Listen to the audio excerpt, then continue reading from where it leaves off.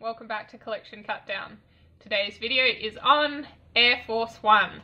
So we're back to action movies, which, as you may know, is probably my favourite genre. I'm pretty sure I've discussed on these videos before somewhere that I love the Die Hard trope. And by that I mean one lone person against an army and they pick them off one by one by crawling through the air vents or in this case Air Force One. This is one of the most famous movies that came in the wake of Die Hard that have that trope. Uh, there's lots of low budget rip-offs. This was one of the higher budget ones with Harrison Ford. It's also one of the best. It's not the only one set on an aeroplane, and in fact, I don't think it's the only one set on a presidential plane but it is uh, it is very entertaining. Uh, but again, it's one that I haven't seen for a long time. I am looking forward to seeing this one again. I do remember quite a bit about it, mostly you know the stuff on the plane. So the story is that Harrison Ford plays the president, and the plane is hijacked, but he is a veteran and knows how to handle himself. So he does what he can to survive the situation and get out. Definitely my favourite part of the film is the bits where he's on the plane doing the Die Hard stuff because that is obviously my thing. Like many people, I've always liked Harrison Ford. I always think he's very charming, good value and he always works well in action movie roles. This is no exception. He's very good and presidential as a president who can also kick some ass. I don't remember there being a particular weak spot in this movie, but who knows, maybe there is. Uh, I am looking forward to watching this one again, so I will see you all on the other side. Air Force One is very much a classic in the action movie genre, and I can see why. It's very entertaining. Obviously, the Die Hard element is my favourite part of this. I don't know what it is about that trope, having one lone person face off against an army and slowly pick them off, but I find it vastly entertaining to watch.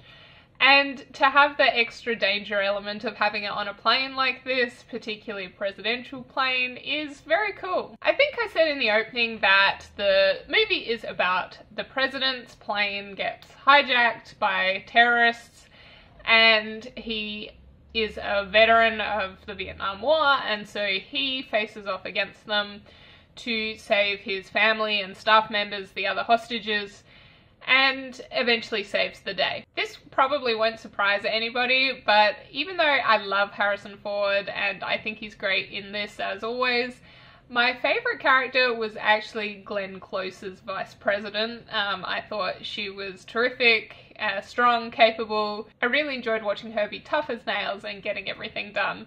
That was really cool. Another thing I liked about this film, which I find is actually weirdly rare in movies, maybe slightly more common these days, but the bad guys actually spoke their own language amongst themselves. I'm pretty sure it was Russian. Often in movies, particularly movies like this, the actors will speak English but just accent it.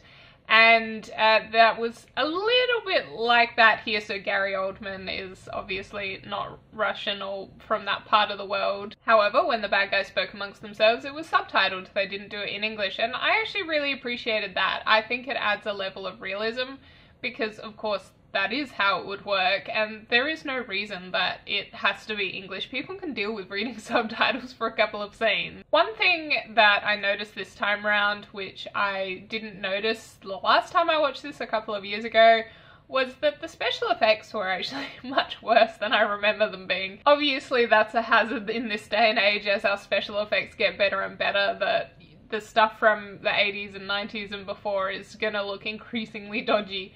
But uh, that that kind of added an element of fun to it for me because you know even just a couple of years ago that wasn't something that I really noticed much. So everything from the green screen um, to the plane landing in water and things like that, uh, yeah, it it was funny to see that. Because this is me, I would have preferred a little bit more time of him, you know, in the bowels of the plane, you know, doing his Die Hard thing, because that's, you know, one of my favourite parts. Once everybody started working together and the hostages got saved, I kind of lost interest a little bit just because it wasn't that tropey element that I liked, but it really, that's just a personal taste thing. I did think they were pretty good at building tension. For example, there's this whole sequence where they launch the escape pod and you think the president is on it and has saved himself when the terrorists first take over.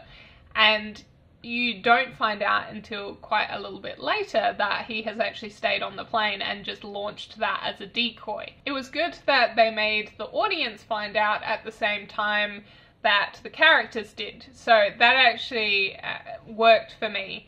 And there's another scene later on where the president tries to send a fax and it arrives in the middle of all this bustle in the situation room and you don't know whether or not they're going to get it in time to help rescue the hostages for their plan. So I thought that was quite clever ways of building tension into the story. One thing I also must do a shout out to is the score in this. Every time I hear that music I feel very, you know, patriotic for a country I've never even been to, America. I think that they did a great job with the music in this, and, and I think it really works well for the story they're telling. Naturally, I do wish that the wife, played by Wendy Crewson, had a little bit more to do. I thought they, you know, tried to build her into the situation a bit, but really I, I would have preferred to have her be more central. But, you know, that's my thing with female characters, so again, your mileage may vary on that one. So overall, what did I think of Air Force One? Well, obviously I like it. It's a classic in the action movie genre. I've seen it quite a few times and I will probably see it again, particularly when I'm on one of my Die Hard on an X kicks, which I do get on occasionally. So uh, for me, this one is always a keeper. I love Harrison Ford. I love the trope. It's no-brainer for me. Next time, we have a semi-sequel to Air Force One, which is Air Force Two. It actually has nothing to do with Air Force One. It just uses the title, I guess, for marketing purposes, but it is to do with the vice president, so I guess it kind of works. I saw this one not too long ago, but I am actually quite keen to talk about this one, so I will see you all next time for Air Force 2. Well, that's it from me today. If you've been enjoying my videos, please consider liking, subscribing, and commenting. I love hearing from people and chatting about movies and other things. Otherwise, goodbye for now, and happy watching!